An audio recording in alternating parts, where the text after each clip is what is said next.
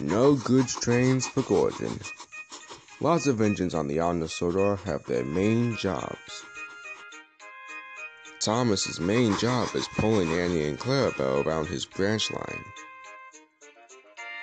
And Percy's main job is delivering the mail. But they have different jobs as well, like pulling freight cars. One day, Gordon was cross. He had to pull a goods train instead of nice, shiny express coaches. A goods train, moaned Gordon.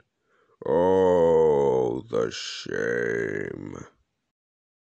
Edward was getting annoyed of Gordon's complaining. Gordon, you need to understand that pulling the express isn't going to be your everyday job. It should be, Edward. I am an express engine, not a goods engine.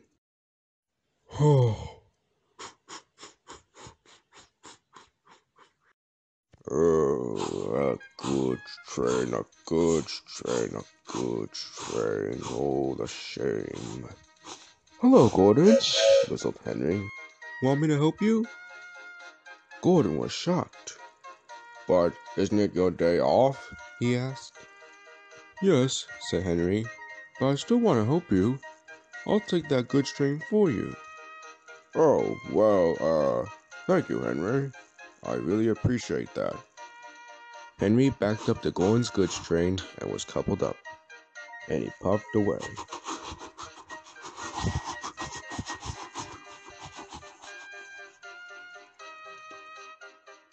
Gordon was very happy. Later, Sir Topham Hatt came to see Gordon. Gordon, I heard that the goods train was on time. I'm very proud of you. Thank you, sir, said Gordon. Sir Topham Hatt didn't know that Henry was the one that pulled Gordon's goods train. Now, Gordon, I want you to take this goods train and deliver it to the docks. Uh, yes, sir. Then Henry arrived back at the yard. He was very tired.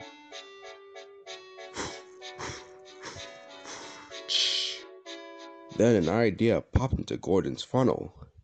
If I tell Henry that I need help with this goods train, I'm sure he wouldn't mind pulling another one. Then I'll no longer be Gordon the goods engine anymore. I'll be back as Gordon the express engine, he thought to himself.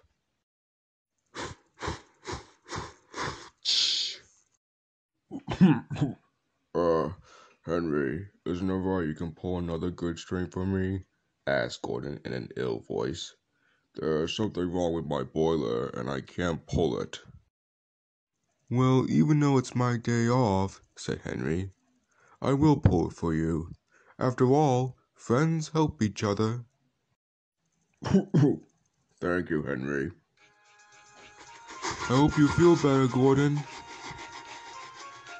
Gordon felt proud. He thought he was being clever. As Henry huffed and puffed with Gordon's goods train, he saw Edward talking to Sir Topham Hatt. Sir Topham Hatt was surprised to see Henry pulling Gordon's goods train. Henry, why are you pulling Gordon's goods train? Gordon was feeling ill, explained Henry, so I'm pulling it for him. Gordon isn't feeling ill, puffed Edward. He was perfectly fine when I was shunting those freight cars for him. Henry couldn't believe it. G- Gordon tricked me. Why would he do that? Don't worry, Henry, said the top man. We'll talk to him.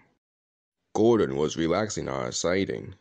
He was very happy that he didn't have to pull goods trains anymore. Oh, hello, Henry. You tricked me, Gordon, said Henry crossly.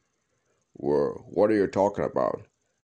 You tricked Henry into making him pulling your goods train. You complain about pulling goods trains is one thing, Gordon, Boom said Topham Hatt. But this, you have gone too far. Apologize to Henry and go to your shed. Yes, sir. I'm sorry I tricked you, Henry. And thank you for pulling the goods train for me the first time. You're welcome, Gordon, and I accept your apology. And Gordon puffed away to his shed.